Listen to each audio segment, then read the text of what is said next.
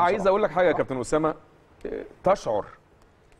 أو إحنا جينا أوقات من من المباراة يا كابتن علاء تحس يعني إحنا في بداية موسم وكان في راحة. إن في إجهاد. صح؟ طب ده مش إجهاد. مش إجهاد. طب ده إيه؟ في بص في تقل في الملعب. في أنا هخلص المباراة في أي وقت. في إعداد نفسي مش مش مش حلو للمباراة. دي مباراة دي بطولة. مباراة بتديك بطولة. نفسيه لازم أنزل غير اللي أسامة كان بيتكلم في نقطة بيقول بتبان من أول ما بتسنتر الكورة. سواء الكورة معاك أو مش معاك أيوه. بيبان. صح. أنت بتبان من جوه أنت النهارده ناوي على إيه؟ أنت البداية. أنت سايب المباراة. بسيوني عامل خطة معينة فخليها على جنب. مم. أنت سايب المباراة. آه، الوقت بيمشي لحد ما إيه؟ هتوديك. أنا هجيب جول هجيب جول. مم. كويس. الزحمة اللي عملها مستر موسيماني كان بيلعب على حاجة واحدة بس. إيه هي؟ الزحمة دي زحمة مدافعين طلائع الجيش. مع كتلة المهاجمين اللي عندك تخلق. تخلق غلطة. حاجة. هو عايز يعمل دي. مم. بدليل أيمن إن كان كل الكرات الطولية عايز صلاح محسن يلمس يكمل شريف بس آه. ده آه يعني أنا أنا معاك في الجزء اتفضل. ده لو في حاجة. زي ما قالوا الكباتن إن يبقى عندك أطراف. مش معترض كان ممكن تحصل. بص في مباراة آه. آه في مباراة حصلت الكره برضو لصلاح محسن واتلمست مباراة دوري آه. تقريبا هي دي اللي كان بيلعب عليها مستر موسيماني مباراه مباراة إفريقيا مباراة في إفريقيا إفريقيا يا كابتن صن داونز؟ صن داونز صن داونز، آه، صح؟ داونز آه. صح. اللي حصل فيها غلط هي سان داونز كان فاتح اللعب هو اللي بيهاجمنا بص يا يعني أيمن كان مختلف هو تماماً. هو بص هو كل مدير فني بيبقى عنده كارت كده يقول لك أنا هلعب بالكارت يلعب ده. في نهاية المباراة. ده إن الجيش الجيش مش ما عندوش أي يعني ما فيش مشكلة في طلائع الجيش طلائع الجيش حتى ما بيلعبش هجمة مرتدة يعني حتى بعد نزول كريم ما عندوش. ما بيلعبش الهجمة مرتدة. يعني هات المباراة من أولها لحد ال extra time. يعني في فرق بتدافع كويس قوي وأعمل هجمة مرتدة. لا بداينا هو الشوط الأول كله أو الشوط لحد ما نزل كريم ما فيش راس حربة. اللي كان بيستنى بس كان ميدو وبيدوب بس إيه بي يعني بي بيحلق كده. لكن حتى الهجمة مرتدة لما في حد من طلائع الجيش بيمسكها ما فيش حد بيكمل. هو ال ال ال الهدف واضح.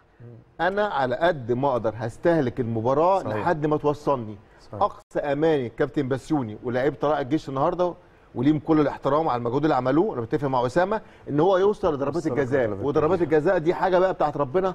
أنت مالكش دعوة بيها. 50 50 50 50 مظبوط. لكن إحنا اتكلمنا بين الشوطين أيمن. كنت سألتني تقول يعني إحنا ليه متأخرين في الهدف؟ لأن طلائع الجيش عاملين مجهود بدني. جبار. عامل ضغط عليك طول المباراة. انت مش خفيف في تقل تحس ان في آه، تقل في الحركة. آه.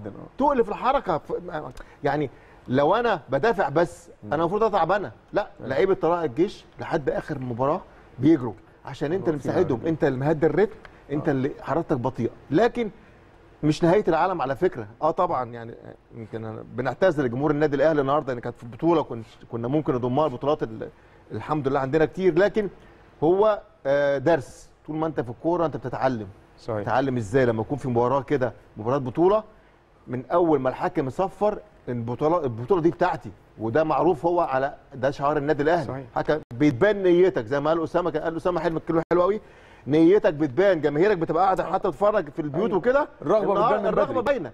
انت الرغبة عندك مش مش واضحة. الشراسة الهجومية سايب المباراة. أيوة. ما ينفعش يسيب مباراة بطولة. عارف لو بطولة لو ماتش دوري آه. مش مشكلة. أيوة. لكن مباراة حتى يا كابتن علاء. تحضير لركلات الجزاء.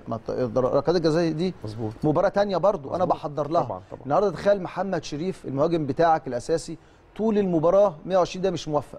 والكرة مش ماشية معاه ومش ظاهر بالش- الشكل اللي إحنا شفناه قبل كده. أحطه في ركلات الجزاء.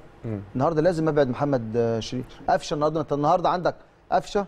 عندك محمد شريف عندك آه، بدر بنون. بدر بنون ما بدر بنون عشان نزلته بس هل النهارده شفنا خلي بالك كان مباراة مانشستر مانشستر يونايتد يونايتد آه. آه. الماتش الأخير. الماتش الأخير. مظبوط. لما المدرب نزل لعيب من بره. نزله على. ركلة الجزاء مباشرة يونايتد. هام. أيوه. وضاعت. ما أنت النهارده أنت كلاعب عايش اجواء المباراه أنت بتجري ومت... يعني صح. أنت بدري بنون نزلته آخر ثلاث دقائق هو مش عايش المباراة. فكان طبيعي برضو تضيع ركلة يضيع. التحضير حتى لركلات الجزاء اللي هي مباراة ثانية ما كانتش موجودة من موسيماني النهارده وأعتقد إن الترتيب برضه يا كابتن أسامة.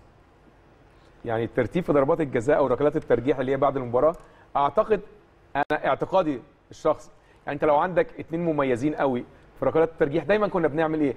واحد بيشوط في الأول وواحد بي... بالظبط كده. برافو عليك.